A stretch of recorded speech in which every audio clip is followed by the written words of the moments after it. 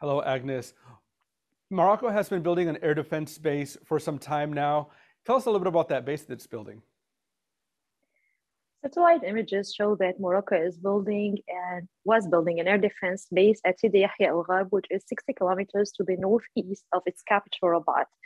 Uh, speaking with the satellite imagery experts as well as local Moroccan experts, we could uh, validate that this is an air defense base which, which, had, uh, which has been constructed since 2017 and the construction was completed in August 2020. Has the government of Morocco released why exactly it's building this base? This is the first air defense base in Morocco. Of course, there are threats speaking about UAVs and other fighter jets in the airspace. However, it will include uh, a number of air defense systems to secure the airspace. What kind of systems are in that airbase itself? Morocco has been signing contracts and procuring a number of air defense uh, systems, speaking on top of which is the uh, 24 Skydragon 50 air defense systems. It has uh, received from China in uh, 2017. Also, it signed a contract in 2019 uh, for VL Mica with France, which is a $226 million uh, worth deal and uh, it is working on procuring other air defense systems. Reports claim that um, Morocco has signed a contract to procure FD 2000, which is the uh, medium to long range Chinese air defense system. However, Defense News could, uh, could make sure from the uh, local experts that the contract was not signed.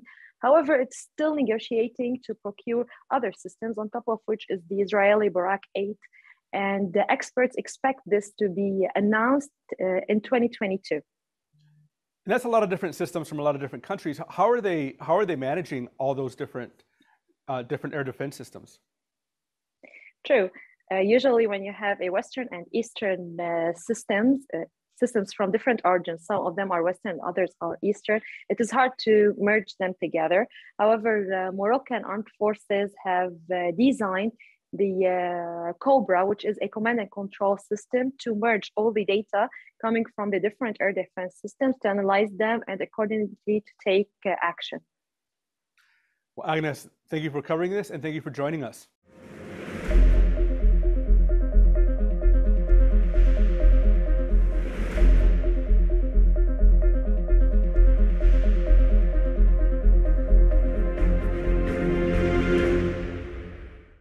The Air Force and Boeing are still working on the remote vision system for the KC-46A Pegasus. The RVS, as it's called, is a network of cameras and sensors on the KC-46 boom that operators use to refuel other aircraft. In April, the Air Force and Boeing decided to replace the original RVS with a redesigned version that is expected to be fielded in 2023. The aircraft has seen several issues, but this is most prominent and it's labeled a Category 1 deficiency. The vision system has issues with certain lighting conditions, which increases the risk of a boom scraping a receiving aircraft. But it's not all bad news for the Pegasus. The Air Force Air Mobility Command commander recently authorized it to refuel more aircraft. The Air Force also received the 50th aircraft for its fleet, and Boeing delivered one to Japan in October. The White House has announced $308 million in additional humanitarian assistance for Afghanistan offering new aid to the country as it edges toward a humanitarian crisis since the Taliban takeover nearly five months ago. White House spokesperson Emily Horne said in a statement Tuesday that new aid from the U.S. Agency for International Development will flow through independent humanitarian organizations and will be used to provide shelter, health care, winterization assistance, emergency food aid, water, sanitation, and hygiene services. The country's long troubled economy has been in a tailspin, in a, in a tailspin rather, since the Taliban takeover, and nearly 80% of Afghanistan's previous government's budget came from the international community. That money, now cut off, financed hospitals, schools, factories, and government ministries. Desperation for such basic necessities has been further exacerbated by the COVID 19 pandemic, as well as healthcare shortages, drought, and malnutrition. And around the world, Ukrainian reservists are stepping up their training to counter possible aggression from its neighbor. Russia has been building up troops and equipment on its border with Ukraine. Alisa Pankovska is a career cyber trainer and a reservist. I never wanted to be an object of um, male protection.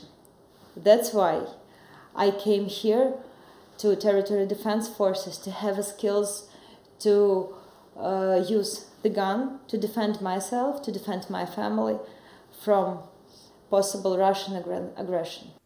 She hopes her training is a deterrent. If the enemy knew that everybody in a country, or let's say many people in a country, have the skills to use rifles and to defend their home, there will be no uh, situation like in Crimea 2014 or like in Donetsk and Lugansk. Dmitry Kostikevich is also a Ukrainian reservist who has been training for years. In uh, 2013, for example, when uh, war was starting, I cannot do nothing. I do not know how to shoot. I do not know what equipment I need. I don't have this equipment. I do not know how to deal with medicine, uh, with uh, uh, engineering, and so on and so forth. Now I think I'm kind of ready to this, but of course not as ready as I want to be. Ukraine's security is of interest to several countries, but it's not yet enjoying the official and added protections of being a NATO member country. Everybody in Ukraine clearly understands that NATO right now they are in fact uh, kind of afraid of Russia and they are not ready to give us full membership uh, right now. So it's just a long uh, way that uh, we have to go.